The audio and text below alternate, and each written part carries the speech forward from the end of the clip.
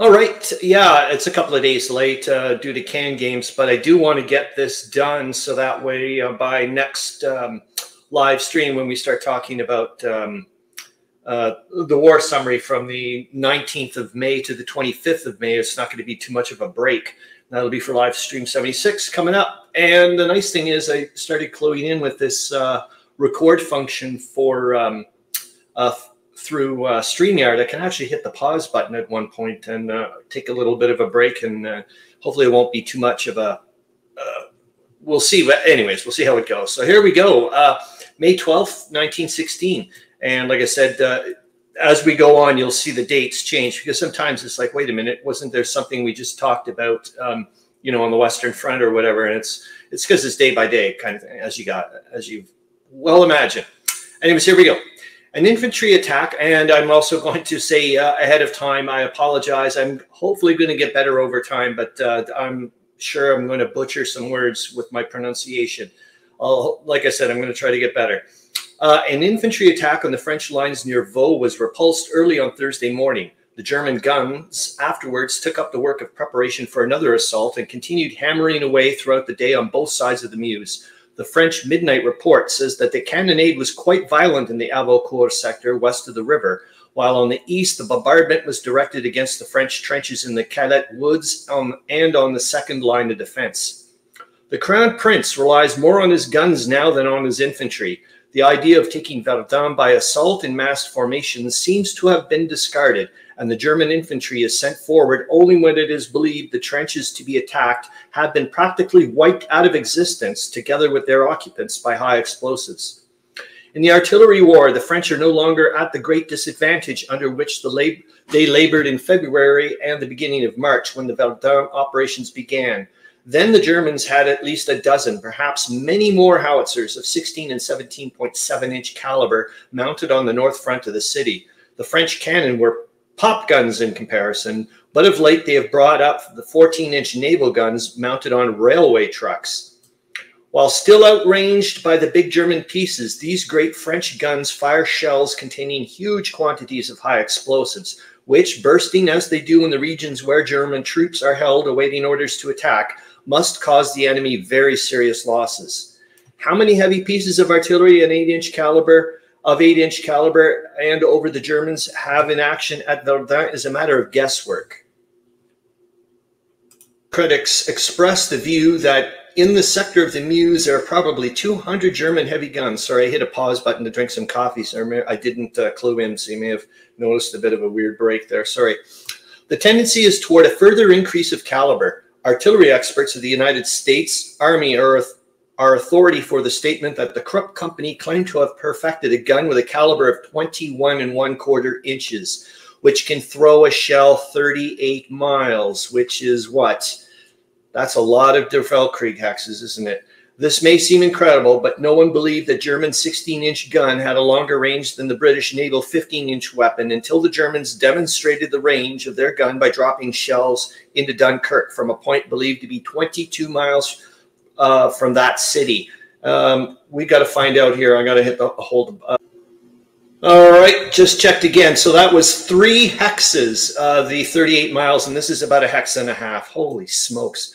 The most revolutionary feature in the alleged new Krupp gun is not the length of range, but the tremendous capacity of its shell as a vehicle for the transmission of a charge of high explosives. The British 12 inch naval gun discharges a projectile weighing 830 pounds. An addition of four and a quarter inches to the caliber increases the weight of the projectile to 2,200 pounds. If a 16 and one quarter inch gun can discharge a projectile weighing, weighing 2,200 pounds, it would seem that every inch added to the caliber between 16 and one quarter and 21 and one quarter inches would permit uh, of an addition of from three to 400 pounds to the weight of the projectile. The new Krupp gun, therefore, will throw a shell weighing almost 4,000 pounds, half of which weight at least will consist of high explosives. Such a gun located on Hamilton Mountain would drop a ton of melinite of, or gun cotton on any selected part of West Toronto. The destructive power of such a shell would be tremendous. It is by long range high explosive bombardment that the Germans hope ultimately to blast their way into Verdun.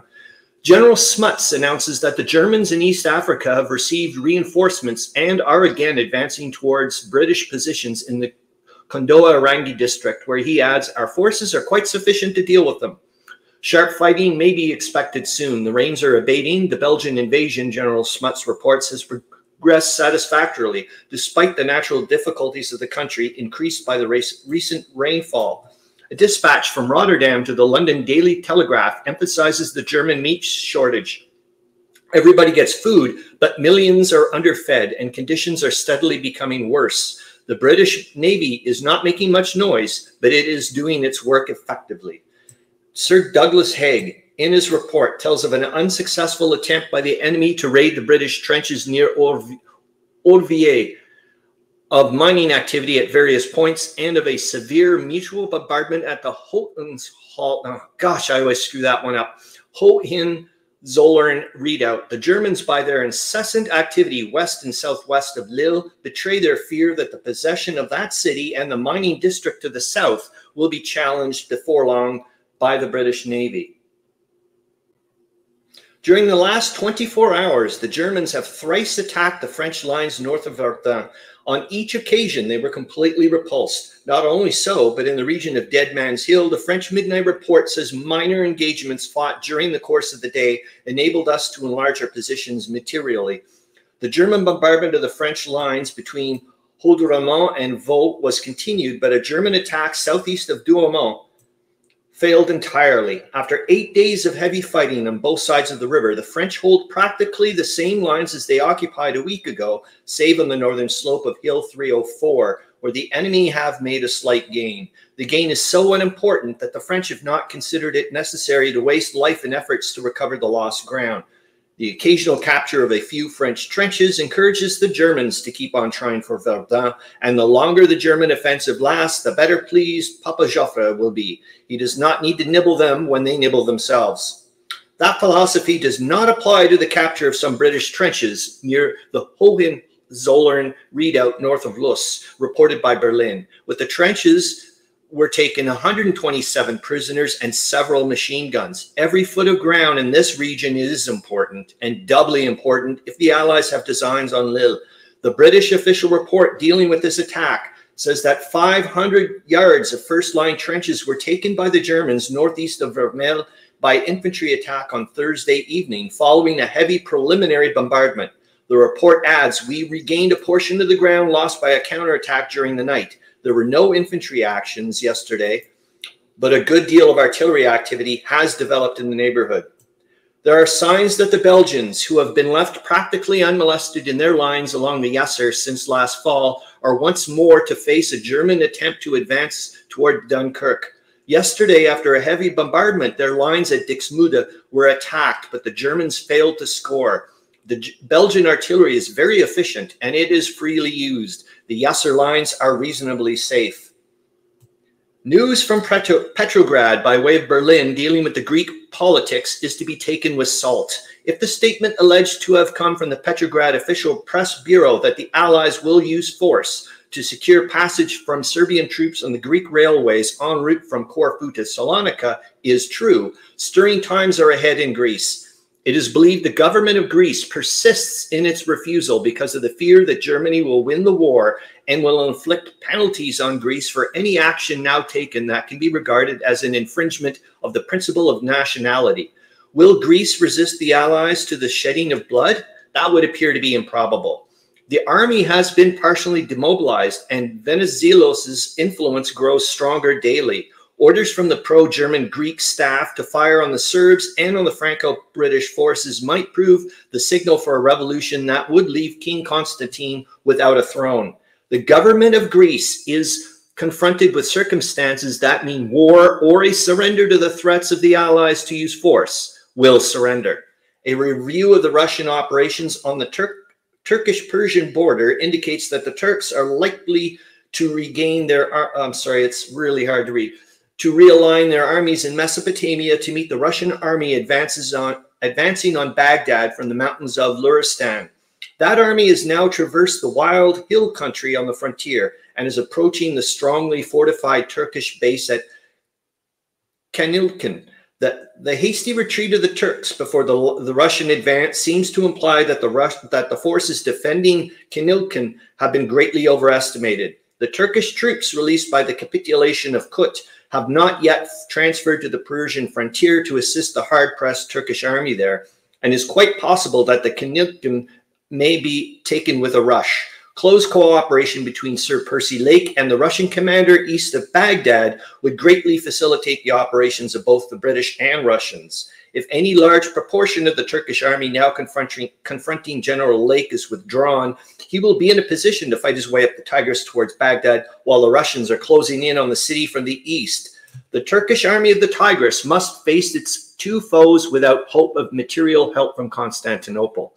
All the troops that can be spared from the capital are being sent forward to the Black Sea coastal region west of Trebizond, where the Russians have again resumed their advance to Erzingen, which the Turkish center defends with resolution and skill. The next great battle in the Armenian war theater will take place in this region.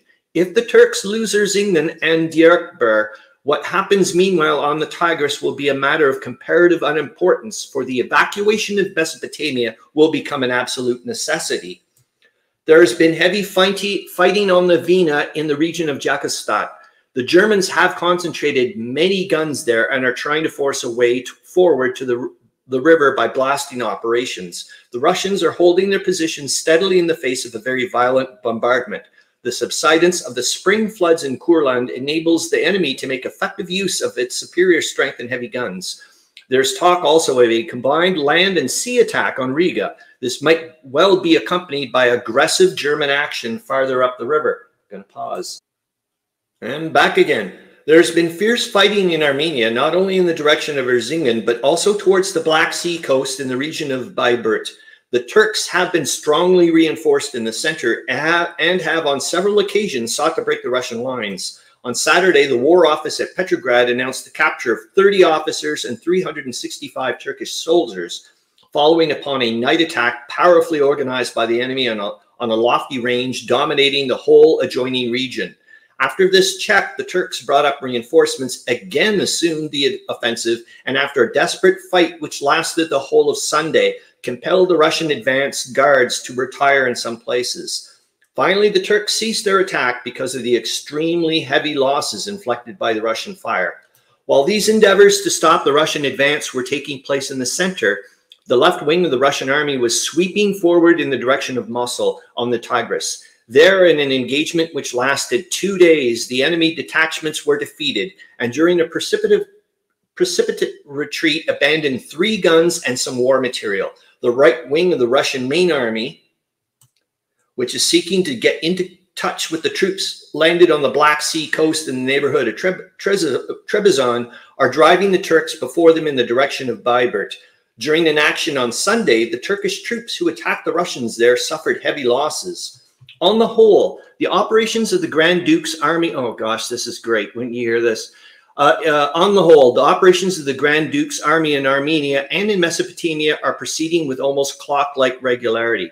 The experience gained by the commander-in-chief in Poland and Galicia enables him to move forward the various parts of his long battlefront as a chess player moves his pieces. The action in the direction of Erzingen yesterday, in which the Turks compelled the Russian advance guards to retire in some places, is the first since the campaign began in February in which the Russian forces have given ground. Operations on the European Russian front are not are not important. The Germans have been showing great activity in the region of the Pripyat marshes. Petrograd reports that in some places this activity has led to bayonet attacks, but all attempts of the enemy to approach the Russian trenches have been frustrated. The struggle upon the west bank of the Meuse has once more died down. On Saturday afternoon, the German bombardment diminished in activity and an attack directed against the French positions to the west of Hill 304 and on the slope northeast of Dead Man's Hill was completely repulsed. After this check, the Germans resumed their bombardment, but no infantry action occurred there on Saturday night or throughout Sunday. Senator hum, Humbert, vice president of the French Senate Army Commission, so I guess Humbert, uh, vice president of the French Senate Army Commission, declares that still more heavy guns are needed to give the give France the victory. The situation, he says, demands feverish efforts to bring to an end the frightful nightmare of the war. The senator points to the effect produced by the enormous projectiles of the Germans on the Verdun front and declares that only heavy artillery equal to that of the foe and as numerous and efficient can quell his terrific bombardment. The startling statement is made that the French army still needs 10 times as much heavy artillery as it has to bring this branch of the service up to the level of the infantry. In field guns, the French are incomparably superior to their enemies, but Senator Humbert's statement indicates that there is still great need for the heavy artillery in which the Germans so greatly excelled when the war began.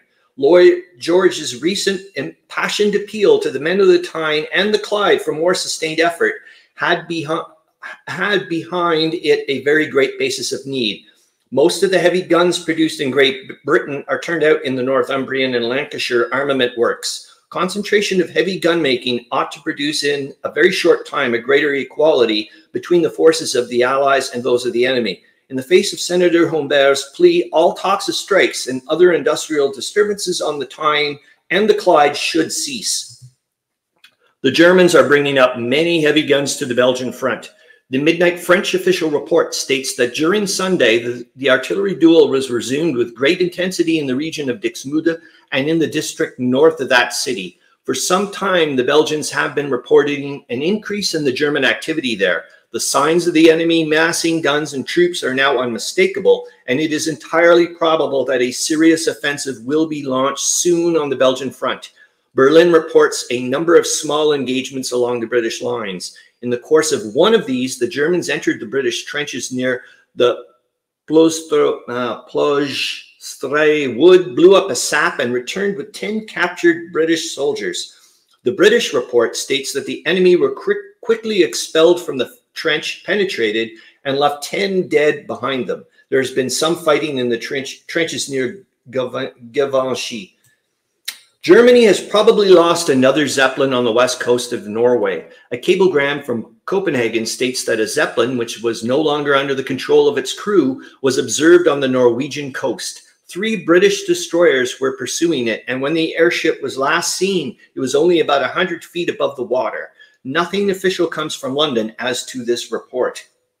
There has been another sharp engagement in East Africa between the troops under command of General Smuts and the Germans. The latter concentrated about a week ago in the vicinity of uh, Kilimantide. Kilimantide, I think. Kilimant, uh, Kilimantindi, I think, the capital of East Africa. I stop doing that as well, obsessing, which is on the main line between the coast and Lake Tanganyika. After this concentration, they proceeded north and attacked General Smuts's forces near Kondoa Irangi. The British drove off the attacking Germans on the night of Tuesday last with severe losses. On Wednesday and Thursday, the Germans resumed their attack.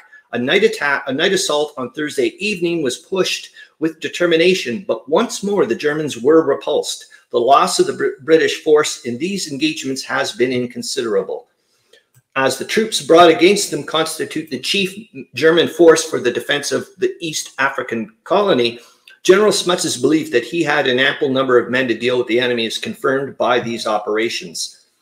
Rome reports very great activity in the upper Adige Valley of the Trentino and also along the Isonzo front on the Carso Plateau. There have been few infantry actions, but Vienna tells of an Italian attack near San Martino, which it is reported was repulsed after a vicious struggle.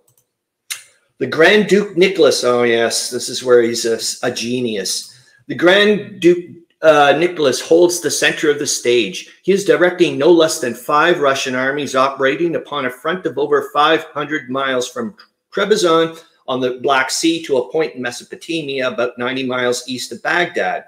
These armies are campaigning in regions absolutely devoid of railway facilities, and the chief striking forces are separated from each other by great mountain ranges that can be crossed at only by uh, at a few points. Notwithstanding the tre tremendous handicap imposed by nature, the Russian commander, the only man of military genius, as distinguished from capacity and ability, who has emerged on either side since the war began, presses steadily forward.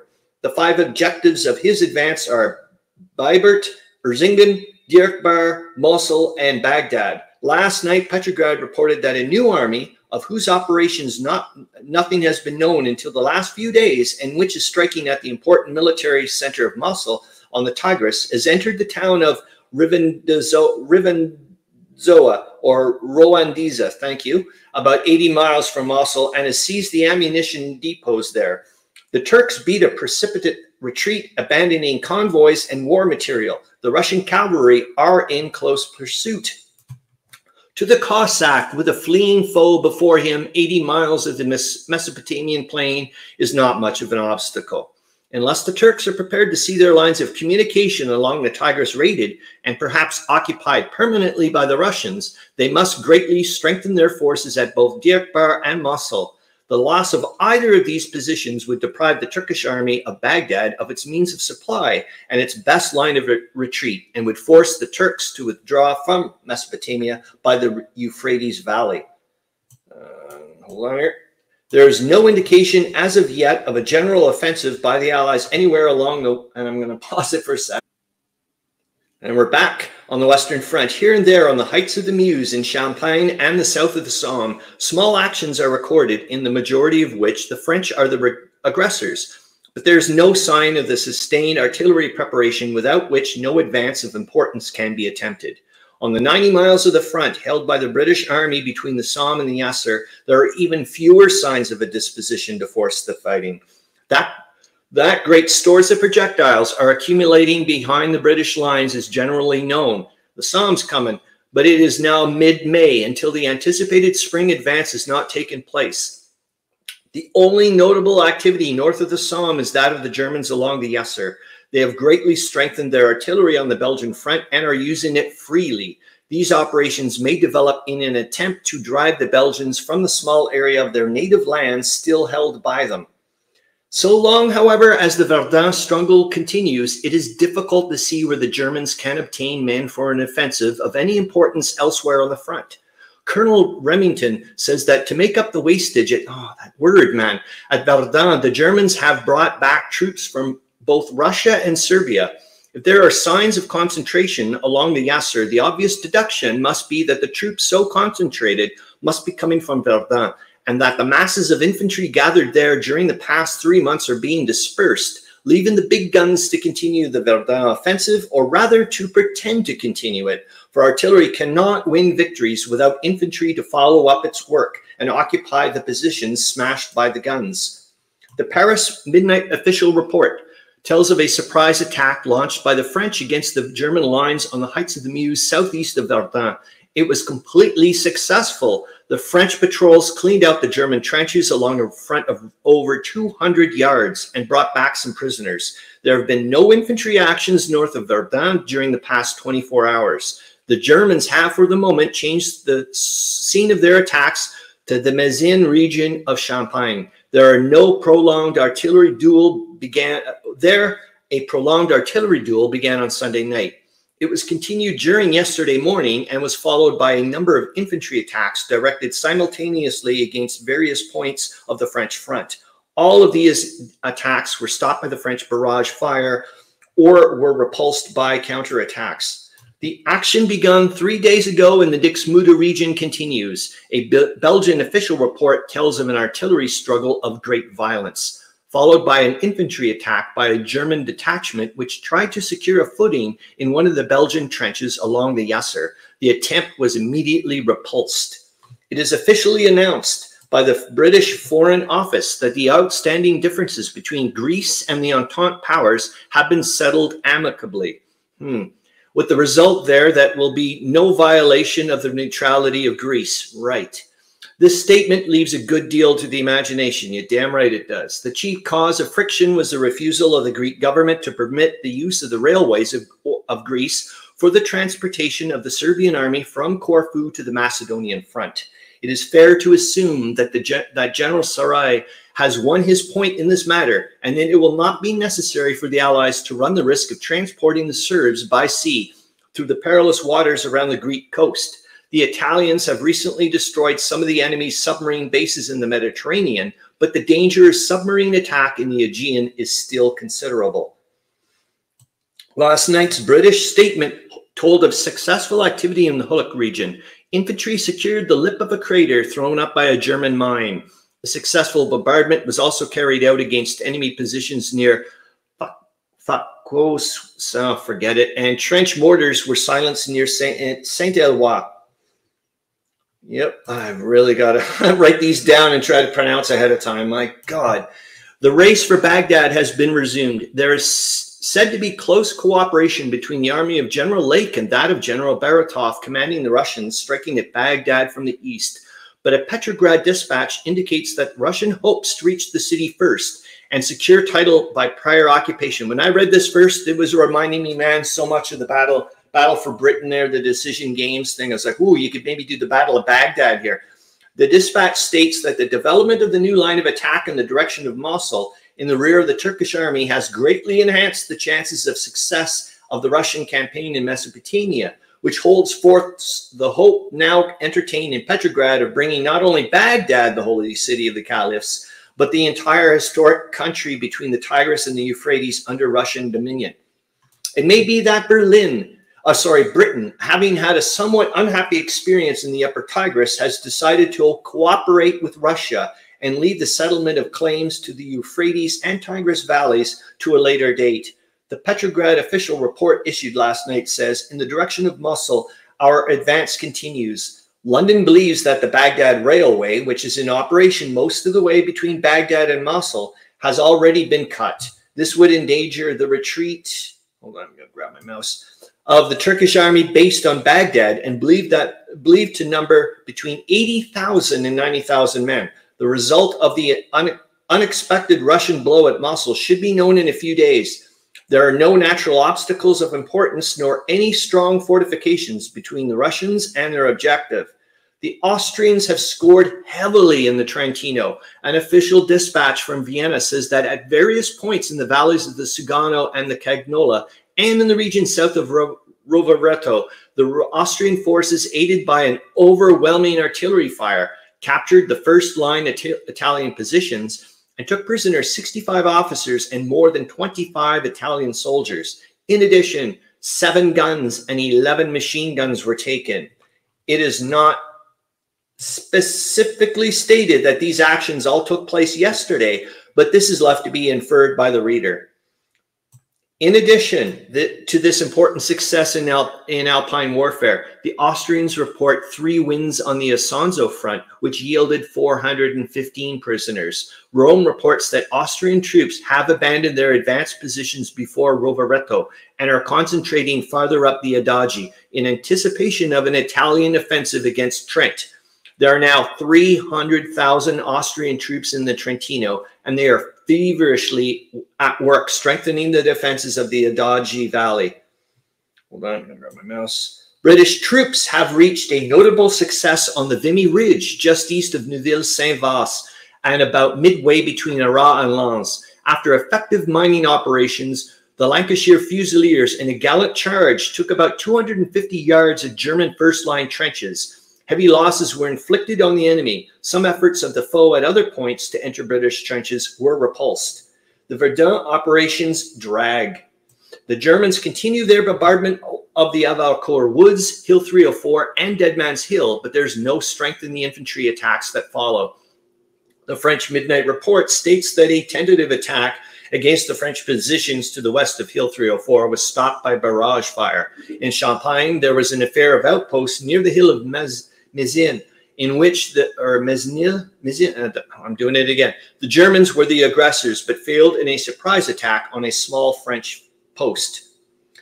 The most significant news of the day is the continuation of particularly violent artillery engagements on the Belgian front. The Germans continue to direct a heavy fire against the Belgian positions north of Dixmude, the Belgians, believing a serious purpose lies behind this prolonged bombardment, have now concentrated the fire of their heavy guns against the German lines on the east bank of the Yser.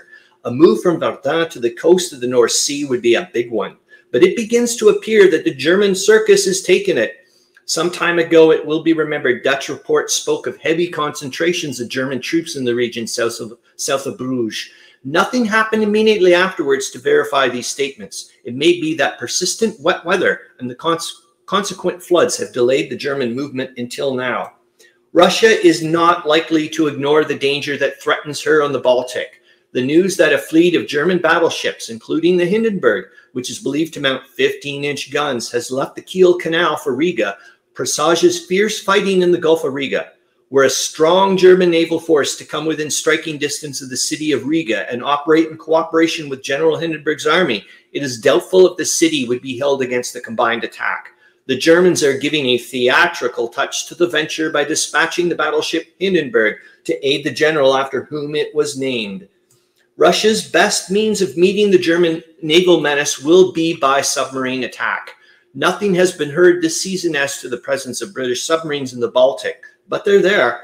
Everything possible has been done by the Germans to prevent their in ingress from the North Sea, and nets have been laid almost within the waters of Denmark to, com uh, to compass that end. It is doubtful if there will be need for British submarines to enter the Baltic this season. Russian ha Russia has, ha has had 15 modern submarines in process of construction in the Baltic since the fall of 1914. They should be ready for sea, sea now and managed by British submarine crews, which can be brought in by way of Archangel in a week's time. They should be able to make a deal of trouble for any German fleet lying in the Gulf of Riga.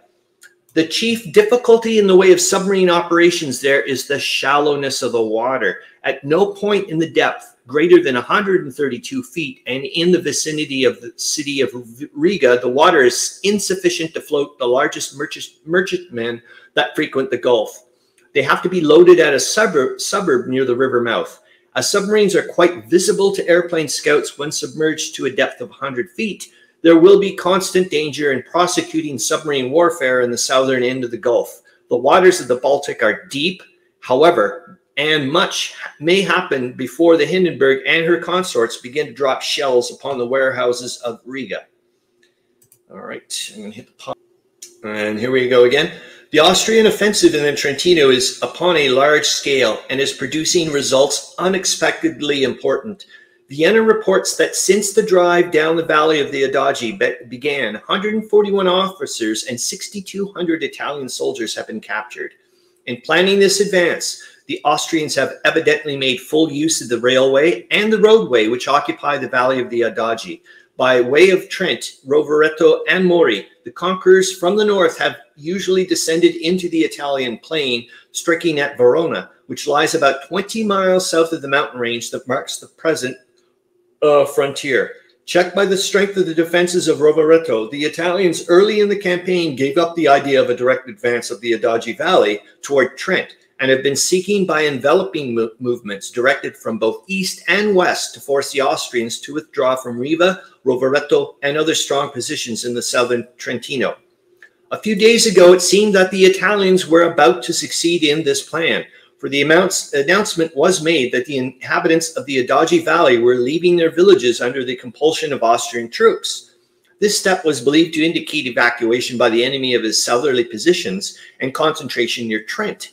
It is now seen that the driving force, the driving of these Italian subjects of Austria from their homes was a precautionary measure to prevent the Italians from learning the details of the Austrian plans for a forward movement it was known that 300,000 Austrians had been concentrated in the Tyrol, but could hardly have been known that most of them were in the valleys and hills in the region between Trent and Rovereto.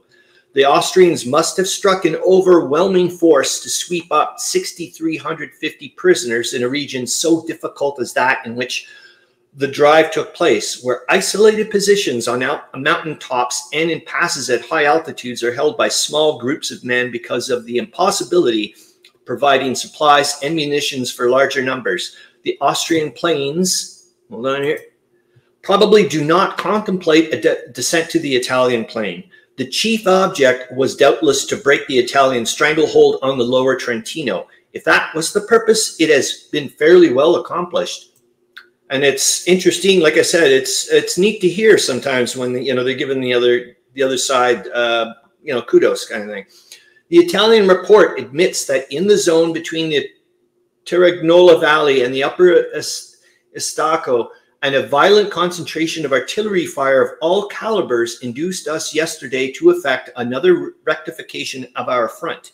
and to abandon some advanced positions. This admission is accompanied by the cheering news that in the Lagarina Valley, the Austrians failed utterly in their attack and suffered enormous losses. Numerous bodies being swept away by the Adige River current.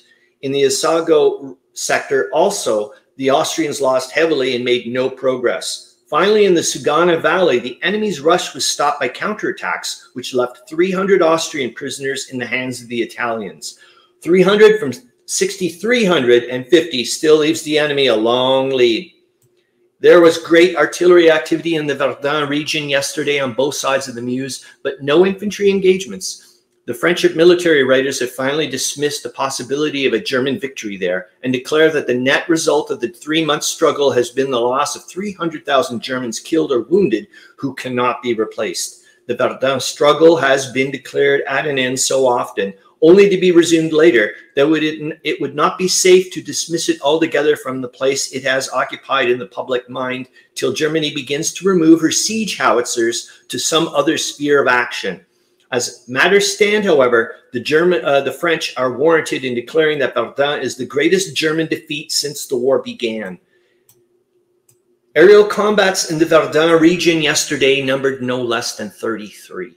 Three German machines were brought down and not a single French one. Elsewhere, two other German aeroplanes were destroyed. The French aviators bombed many points behind the enemy's lines. In the House of Commons, Mr. Tennant strongly denied reports that Germany had established aerial supremacy as against British aviators. There were better machines than the Fokker coming into action on the British side. Non-military aviation experts do not think much of the British biplanes for swift aggressive aerial warfare. The French monoplanes are more difficult to handle because of their lack of stability, but the records show that they do pr produce results. A report covering the fortnight's operations on the Salonika front states that since the 1st of May, there's been no important change. No serious infantry, act, uh, infantry engagements have been fought. The artillery on both sides have been busy.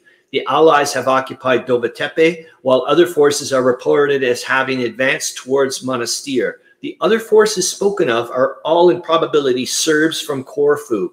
The Allies may not make their main advance when the time for an advance comes, but the Allies may not make their main advance when the time for an advance comes by the Valley of the Vardar, where the enemy has mounted many guns. They may have the choice of almost 100 miles of frontier between Monastir and Kavala, where fairly good railway accommodation all the way parallel to the border.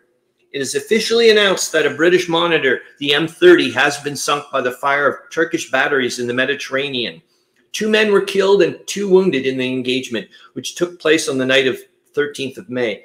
When the British battleships were withdrawn from the Gallipoli operations because of the danger from submarine attack, monitors were substituted. They have been used freely in the Eastern Mediterranean ever since. Neither there nor on the Belgian coast has any monitor been destroyed by the explosion of a torpedo, which proves conclusively that they are reasonably submarine proof. But they are not immune to the fire of heavy guns, as Saturday's engagement proves. I think this is almost it. The British official report tells of bombing operations by Seaforth Highlanders near uh, Rolancourt, which were most successful. There have been much artillery activity and many aerial engagements have taken place. On Tuesday, 27 aerial duels occurred, during which three German and two British machines were put out of action. There is little official news from the Caucasus, save the statement that in the direction of Diyarbakir, a Tur Turkish attack was repulsed. An unofficial report places the number of Turks captured during the past three weeks by the Grand Duke Nicholas's armies at 37,000 men. The pressure on the British army of the Tigris has been greatly lessened by the withdrawal of 20,000 Turks from Kut El Amara to face the Russians advancing on Baghdad. Sir Percy Lake will seek to advance the moment the Tigris floods subside to sufficiently enable him to do so. And there has been sharp fighting at many points on the European Russian front, particularly in Courland, where the Germans southeast of Riga attacked twice unsuccessfully after releasing oh, poisonous gas. In the Volian sphere of operations, the Russians are advancing west of Ulika that's it. And like I said, I'll try to do my pronunciation better. What it's going to take some time. Anyways, I uh, hope to see you on Saturday. See you later.